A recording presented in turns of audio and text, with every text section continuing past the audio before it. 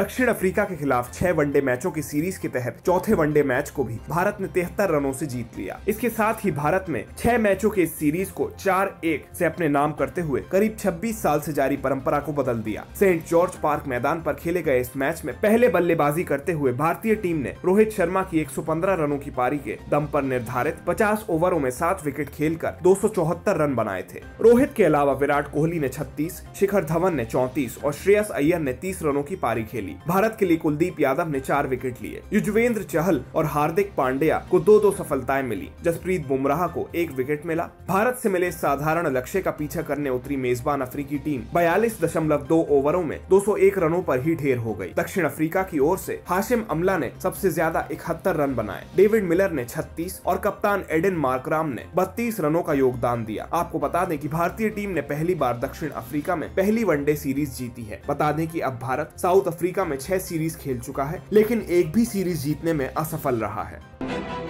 देश और विदेश की हर तरह की न्यूज़ को हिंदी में सबसे पहले देखने के लिए हमारे चैनल लोकमत न्यूज़ हिंदी को सब्सक्राइब करना ना भूलें।